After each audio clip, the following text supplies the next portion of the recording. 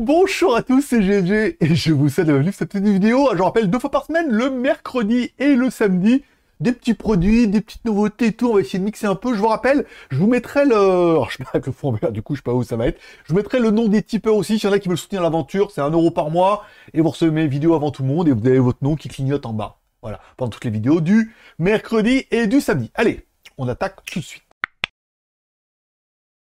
Aujourd'hui, oui, aujourd'hui, aujourd'hui, on va, parler d'un nouveau produit qui va, enfin, qui est déjà sorti aux États-Unis, mais qui est encore en précommande et qui va arriver chez nous parce que peut-être, alors comme moi, vous avez des batteries EcoFlow, ça c'est trop bien, le mode nomade. Alors tu dis voilà, ça permet d'avoir une batterie et une grosse batterie externe, encore une fois, tu peux aller de 1000, enfin 600, 1000 jusqu'à 3500 watts. L'intérêt de cette batterie externe, notamment chez EcoFlow, c'est qu'il y a un onduleur dedans. Onduleur dedans, ça veut dire c'est quoi? C'est-à-dire que tu as des prises de 120 volts jusqu'à 3500 watts sur les prises 220 volts, ok?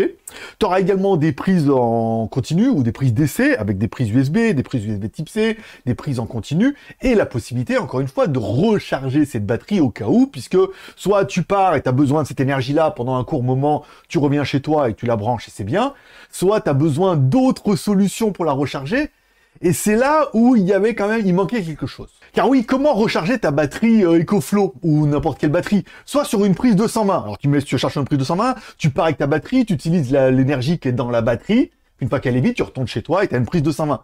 Mais généralement, après, si tu es à proximité d'une prise, aucun intérêt d'avoir une batterie. Voilà, donc tu peux pencher directement sur la prise. Donc ça peut être, voilà, encore une fois, ça c'est bien, tu en as besoin pour un court moment, tu branches, tu charges, tu remets, ok. Autre solution, tu pars par exemple en vacances pendant une semaine en camping-car et tu veux être complètement autonome.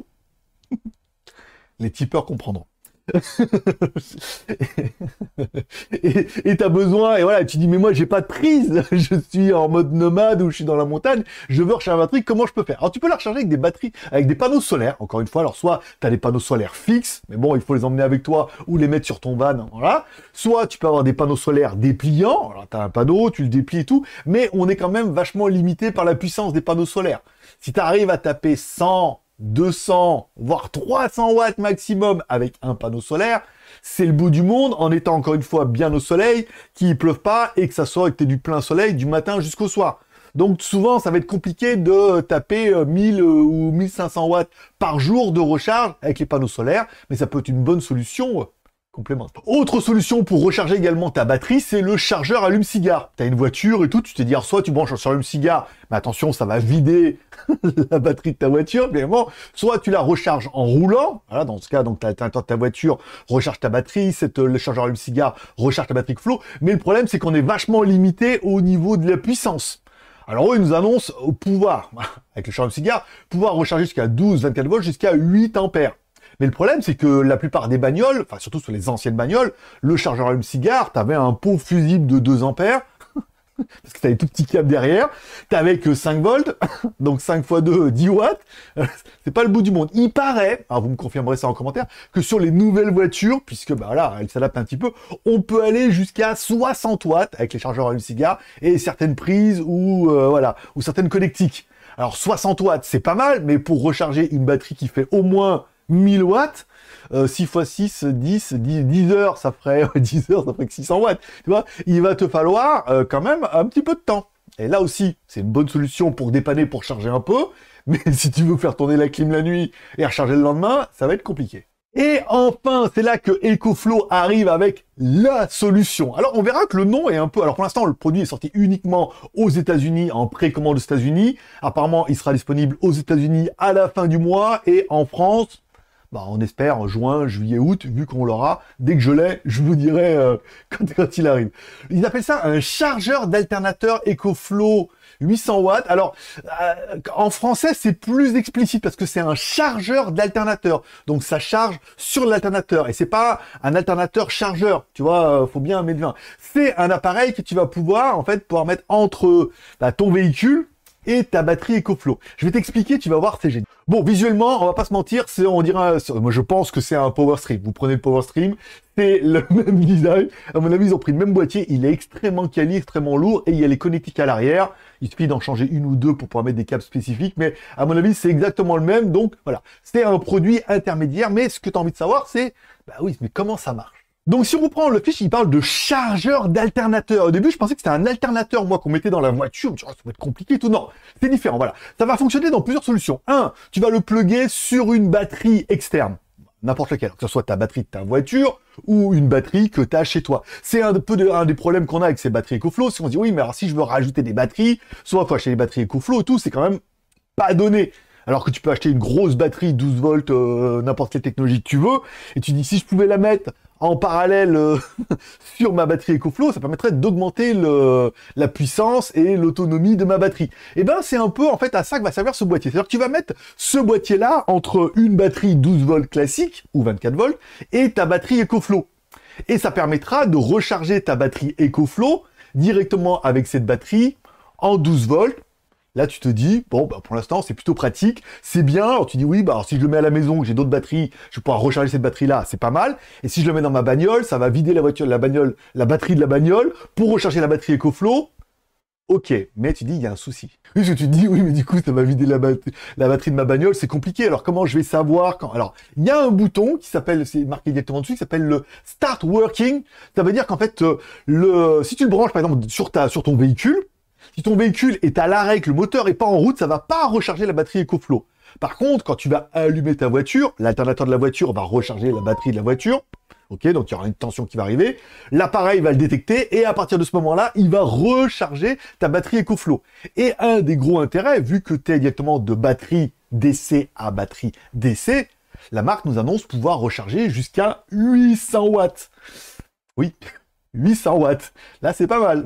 800 watts ça commence à devenir un peu intéressant. Donc, cette configuration, elle est plutôt intéressante. Si tu un van, un pick-up ou n'importe quoi, comme on voit sur les vidéos américaines, tu dis voilà, chaque fois que la voiture va être en route, ou par exemple, je me mets en mode nomade, tu dis voilà, ma batterie EcoFlow est vide, il suffit soit de taper sur la batterie de ton véhicule, mais ça peut être bon, un peu, voilà, encore une fois, une fois que ce sera vide, après, comment on fait?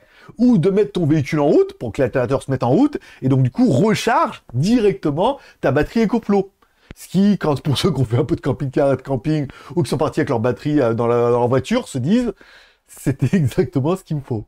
Bon, à savoir que ça marche dans les deux sens. Tu te dis oui, mais alors par exemple, moi, ma batterie de ma voiture, elle est un peu faible et tout, je voudrais euh, mettre un peu de courant. Eh ben, tu peux le faire dans les deux sens. Via l'application, tu peux le mettre, comme ils appellent, le mode de charge inversé. Ça veut dire que dans ce cas-là, c'est la batterie EcoFlow qui va recharger ta batterie 12 volts qu'elle soit sur une voiture ou qu'elle soit à la maison. Par exemple, tu dis voilà, mais moi j'ai d'autres batteries à la maison.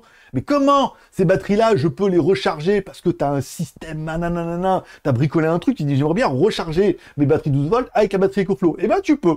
Tu recharges ta batterie EcoFlow, par exemple avec le solaire, et donc du coup ta batterie EcoFlow recharge ces batteries-là la journée. Tu es en train de comprendre là? Oui, parce qu'après la nuit, tu mets ça dans l'autre sens, où c'est les batteries qui rechargent ton EcoFlow et ton EcoFlow que tu utilises. Et ouais, ça, a quand même un gros point positif. Et enfin, il y a le dernier mode où tu te dis, ouais, je l'ai branché sur ma bagnole, j'ai oublié de cliquer sur le bouton, ça a vidé la batterie de ma bagnole, ou alors la batterie de ma bagnole est complètement déchargée, et comment je vais faire? Je n'ai pas de chargeur de secours. Tu dis, bah, tu peux utiliser, encore une fois, ta batterie EcoFlow comme ce qu'on appelle un peu un booster. Voilà. C'est-à-dire que tu branches ta batterie EcoFlow sur l'appareil, l'appareil sur la batterie, et là tu te mets en mode maintenance et ça te permet de démarrer ton véhicule. Ensuite, tu as l'alternateur et après tu re-switch et donc du coup après c'est l'alternateur qui recharge ta batterie EcoFlow. Eh, maintenant que tu as compris, hein, je suis bien sûr tu es en train de te dire, c'était le produit qu'on attendait. Alors bien évidemment, si on prend sur leur site, qu'est-ce qu'ils nous indique Charger pendant la conduite et rester euh, sous tension euh, sur la route. Alternateur turbo de 800 watts. Alors attention, alternateur turbo, encore une fois, c'est là où les mots, en fait, c'est pas un alternateur, encore une fois, c'est vraiment un boîtier que tu mets de DC à DC. Il faut rester l'alternateur voiture. Donc si t'as un gros pick-up, un gros van et tout, ça va envoyer des watts, là, encore une fois. Mais une petite bagnole, elle enverra pas 800 watts, encore une fois. Hein. Donc il faut regarder un petit peu ton alternateur. Mais bon, comme tu tapes sur la batterie quand ça roule et tout, le peu que tu auras, ça sera toujours plus que ton chargeur allume-cigare, voire que tes panneaux solaires.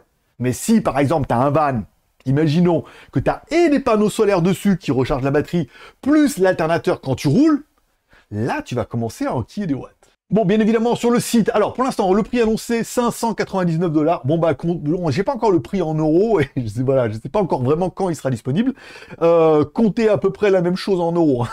199 dollars, comptez la même chose en euros, au moins 599 euros. Encore une fois, le boîtier euh, en powertrain va être super lourd, super consistant. Il y aura la possibilité de l'avoir avec des packs. Voilà, pour ceux qui n'auraient pas encore de batterie. À savoir, il fonctionne avec énormément de gamme de batterie. Ici, on revient, donc là, il nous explique comment le branché et tout. Alors, il fonctionne avec la Delta Pro. Voilà, on est sur du 3500 watts, hein, c'est pas mal. Il fonctionne avec la Delta 2, la Delta Max, la Delta 2 Max EB, la Delta 2 EB et la Delta 2. Alors attention, est-ce qu'on aura les mêmes soucis qu'avant? Je me rappelle, il y avait eu pas mal de problèmes avec les Power Stream où attention, avec votre euh, boîtier, là ce qu'on appelle un alternateur, il faudra un câble spécifique pour ta batterie. C'est-à-dire qu'il y a vraiment un cap, c'est pas tout pareil, voilà. Il faudra vraiment qu'il y ait un cap spécifique. Donc, est-ce que ils vont proposer après des options en fonction de la batterie ou t'as Parce que, où est-ce qu'ils vont vendre que, au début, ils vendaient que les Power Stream et fallait acheter les câbles séparément et tout? Ou est-ce qu'il vaut mieux pour vous prendre un pack directement? Vous me direz ça directement dans les commentaires. Quand on prend le pack, on a bien le Power Stream, on a bien un câble pour relier, donc du coup, un XT euh, output où tu auras des câbles pour relier ce boîtier-là à ta batterie et ce boîtier-là à ta bagnole. Apparemment, il y a un câble de 5 mètres. Donc il va y avoir du gros câble, hein, du gros câble 800 watts. Bon voilà, 800 watts, t'es quand même, enfin 5 mètres et 800 watts, 800 watts t'es bien, et 5 mètres, bon ça permet de couvrir, imaginons un van ou un camping-car. On va parler camping-car. Les tipeurs comprendront. Les tipeurs, vous comprendrez. Je vous rappelle pour les tipeurs, il y aura une vidéo exclusive par mois, euh, normalement jusqu'à la fin de l'année. Comme c'est parti, j'en parlerai sur Tipeee c'est dans les news, voilà, tout ça, tout ça. Euh, donc là, 5 mètres, ça permet de mettre le boîtier, enfin ta batterie, le boîtier éventuellement par-dessus, de tirer un câble jusqu'à ta batterie. Mais comme on est sur du DC-DC, c'est pas mal. Et encore une fois, certains vont vite comprendre un peu l'intérêt, c'est dire oui, mais si j'achète une batterie EcoFlow, que je vais racheter d'autres batteries pour augmenter la puissance, par exemple avec un power stream pour la nuit et tout, tu te dis donc je mets ça entre les deux, je pourrais avoir ma batterie, plus une autre batterie que je peux acheter donc du moins cher, parce que c'est juste une batterie passive, et la journée, en fonction si j'ai du solaire, recharger toutes ces batteries-là, et la nuit, réutiliser toute cette énergie. Il y a des branchements à faire. Vous me direz ça en commentaire. Et c'est tout pour aujourd'hui. N'hésitez pas à mettre un pouce en l'air si vous aimez la vidéo ou un pouce en bas si vous n'avez pas aimé la vidéo. Le produit, je le recevrai quand il sera disponible. Je vous ferai une vidéo. Je vous ferai également une installation dans un camping-car, bien évidemment, puisque ça sera un peu le leitmotiv jusqu'à la fin de l'année. Et ça permettra de et tout. Mais c'est vraiment un des produits qui est... Alors direz, il y a encore un truc propriétaire. Oui, mais encore une fois, voilà. Le problème truc propriétaire, bah, c'est bien. Les produits sont très quali. Mais mais on avait ce souci-là où moi-même je savais pas. Alors j'avais trouvé la solution d'avoir une batterie externe et cette batterie externe, je mettais après un PPT derrière et je la rechargeais avec le, solaire sur l'autre batterie pour avoir une entrée, mais je me dis mais comment je peux faire pour la recharger? Enfin, je trouve une voilà. Là, on a vraiment une solution qui va répondre à pas mal de demandes. Vous mettez un commentaire en dessous de ces vidéos, bah, si vous avez des questions, des remarques, des suggestions, tout ça, j'essaierai vraiment de répondre et d'être réactif là-dessus. Vous mettez un pouce en l'air, vous vous abonnez c'est pas encore fait, et nous on se donne rendez-vous samedi pour la prochaine vidéo de GLG Vidéo. À samedi, le produit il est là. Franchement, samedi tu vas kiffer. Et bonne journée à tous, bye bye.